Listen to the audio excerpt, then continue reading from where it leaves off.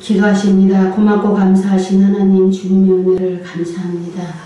오늘도 우리가 하나님 앞에 예배재단 쌓게 하여 주시옵시고 또한 아버지 빈손 들고 오지 아니하고 하나님 앞에 귀한 힘을 드렸습니다. 하나님께서 우리의 삶 속에 함께 해주시고 인도하여 주셔서 우리가 이 세상의 삶을 살아가면서 물질 없이는 살아갈 수 없음을 아시는 하나님 성령님께서 우리의 삶 속에 함께 해주심으로 말미암아 하나님 앞에 물질 때문에 어려움과 고통 당하지 아니하도록 하나님이 축복하여 주시고 인도하여 주시옵소서.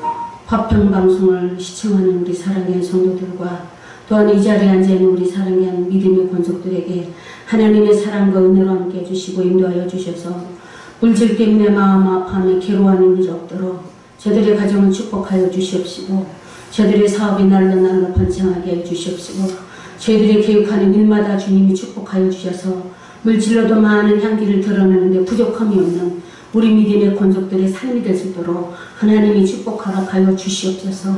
또한 이 물질이 쓰이는 곳곳마다 그리스도 향기만 드러낼 수 있도록 우리 주님이 함께하여 주시옵시고 또한 아버지 하나님 이 물질을 가지고 모든 일을 일하실 때마다 우리 화평 방송 속에도 하나님이 함께 해주시고 인도하여 주셔서 많은 이들이 시청자들이 많이 나오게 하여 주시옵시고 이 화평 방송이 하나님의 그리스도의 삶을 살아감에 있어서 많은 이들에게 용기와 도전을 주는 아름다운 복된 말씀이요 아름다운 찬송의 소리요 아름다운 오븐 스피치요 간증들이 될 수 있도록 하나님이 함께하여 주시옵소서.